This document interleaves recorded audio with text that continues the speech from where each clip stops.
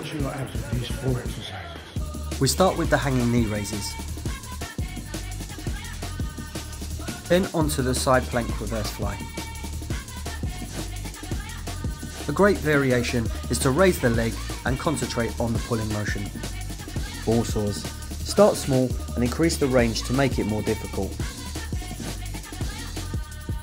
Single leg Swiss ball jackknife. Great for balance and challenging your stabilisation. Then we have the classic Swiss ball jackknife. Try to keep those knees up and on the same plane. And last but not least, we have the Swiss ball pike. And as always guys, stay fit!